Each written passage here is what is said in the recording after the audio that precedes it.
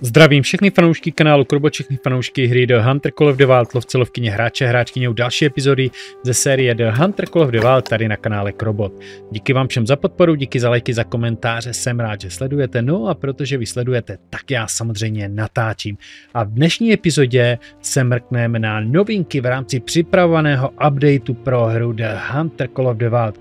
14. března vychází nové zbraňové DLC Hunter Power Pack a v rámci toho samozřejmě přijdou i novinky pro všechny hráče eh, v updateu. Takže dneska si ukážeme, co to bude, řekneme si, co bude za peníze, co bude zadarmo, no a samozřejmě už tak nějak se trošku naladíme. Než se do toho pustíme, tak mrkněte do popisku pod videem, kde je odkaz na Discordový server kanálu Krobot a na Instagramový účet kanálu Krobot.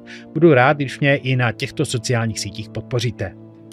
Kanál Krobot je partnerem Expansive Words a samozřejmě i hry The Hunter Call of the Wild. Jako takový mám přístup uh, early accessům a předběžným přístup k připravovaným věcem. Není tomu jinak ani v rámci Hunter Power Packu, a proto už v pátek se můžete těšit na speciální livestream uh, s novýma zbraněma a samozřejmě i z nové trofejní budovy, takže v pátek si uděláme mimořádný livestream z Hunter Call of the Wild a v rámci toho se půjdeme i mimo jiné podívat do nové trofejní budovy, která je tam už pro nás připravená. Takže nezapomeňte, že už tento pátek budeme mít speciální livestream s novými zbraněma a v nové trofejní budově.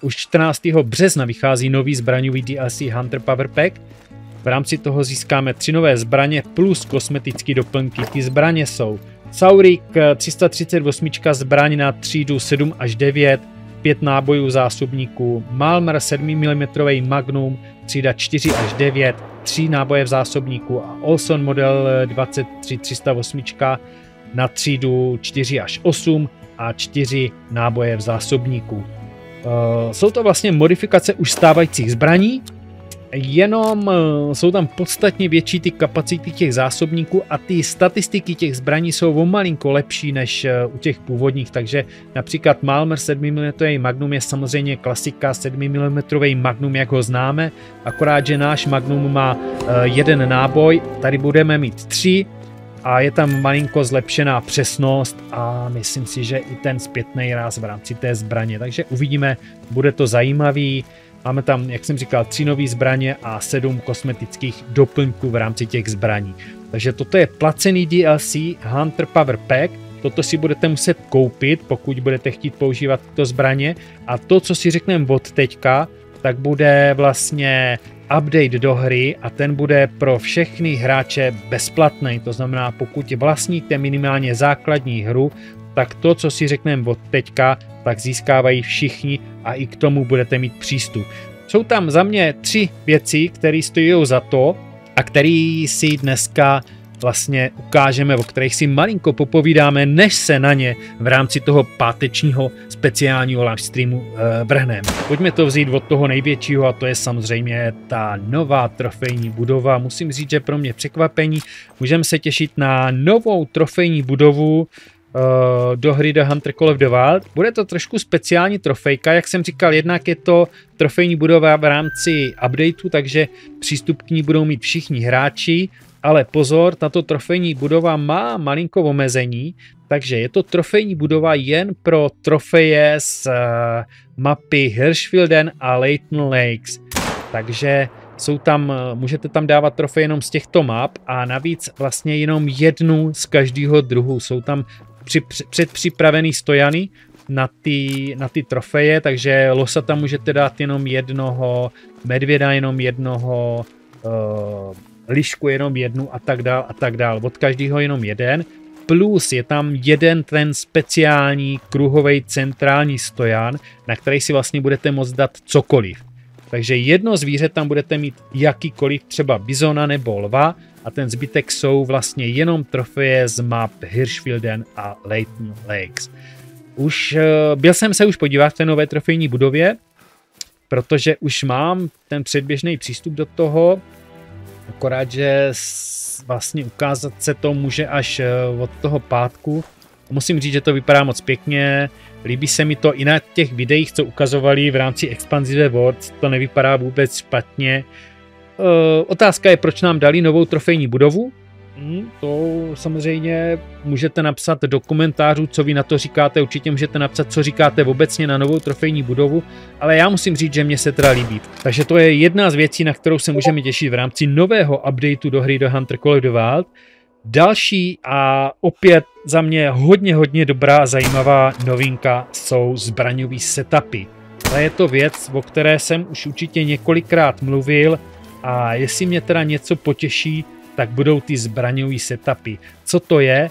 No, eh, v rámci svého inventáře si můžete vytvářet setupy eh, veškerého inventáře, který použijete. Je tam, mám pocit, že 10 slotů, 6 nebo 4 jsou zdarma, plus další si budete muset dokupovat, jeden stojí 1000, 2, 2, 3, 4 a tak dál.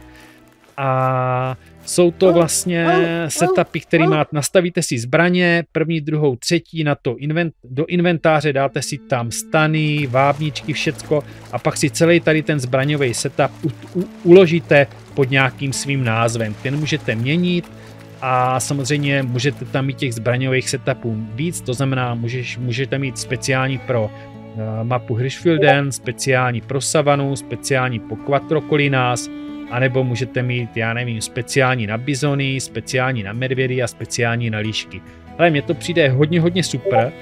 To si myslím, že je bezvadný vylepšení, protože co bylo nejhorší, tak bylo přehazovat ty zbraně. Jo a teď musíš vyhodit všechny zbraně, k tomu ty náboje, plus musíš odhodit ty zaměřovače, když si chtěl třeba dát ten luk, teď to tam zpátky naházet, protože všecko to nemůžeš mít v tom inventáři, protože to všecko něco váží, máš nějakou kapacitu, takže v tomto si myslím, že ty zbraňový setupy nebo ty loadouty, který tam budeš moc mít, tak jsou jako bezvadný vylepšení.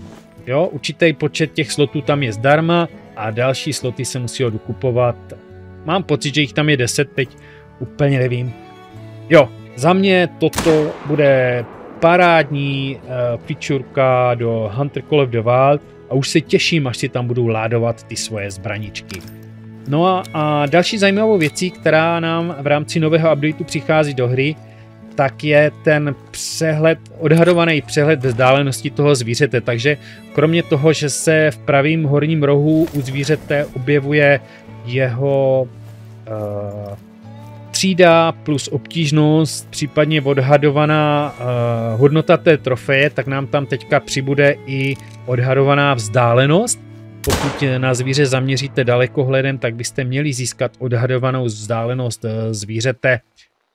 Hele, toto až tak nevím, hele, pro mě, nebo pro nás hráče, kteří už máme samozřejmě ty dalekohledy, tak je to mm, trošku zbytečnost. Umím si představit, že pro, zene, pro začínající hráče to může být zajímavá varianta, ale tady zas nechápu jednu věc, proč, proč to tam ti začínající hráči mají, protože postupem tím, jak si zlepšuješ tu svoji postavu, jak se vyvíjíš, jak se zdokonaluješ a to jak fakticky, tak vlastně i pomocí perku a dovedností, tak se k této, eh, k této vlastnosti nebo k tomuto dostal pomocí toho dalekohledu. Mám pocit, že teda od nevím, kdy je ten druhý, kdy je ten dálkoměr, ale už v rámci toho dálkoměru vlastně hráč získá možnost eh, zjišťovat tu vzdálenost od toho zvířete, tak mně to přišlo takový, jo jo, hele, zlepšují nebo zjednodušují tu hru pro začínající hráče, určitě proto mají vývojáři nějaký důvod, ale mně to přijde malinko zbytečný. Nicméně určitě je to jedna z novinek, která do hry v rámci nového updateu přibude, je potřeba to tady říct a jasně, že umím si představit, že plno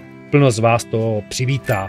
Takže hele, to jsou za mě ty nejdůležitější novinky, to znamená, můžeme, se, můžeme se těšit na nový zbraňový DLC Hunter Power Pack, můžeme, který si musíme zaplatit, který si musíte koupit a zdarma se můžete těšit na novou trofejní budovu pro trofeje z map Hirschfielden a Leighton Lakes, na možnost eh, vytvářet si svoje vlastní zbraňové setupy, a potom je to teda, dejme tomu tady ta drobnost, zjišťovat vzdálenost zvířete od vás. Je tam toho ještě malinko víc, ale ty zbylé věci si ukážeme v rámci speciálního livestreamu uh, z Early Accessu nového zbraňového DLC Hunter Power Pack, který je plánovaný na pátek na 8 hodinu, kdy si dáme takový hodinku, hodinku a půl single V rámci nových zbraní. Ukážeme si tu novou trofejní budovu, plus ty další vychytávky eh, z nového updateu. Takže určitě přijďte,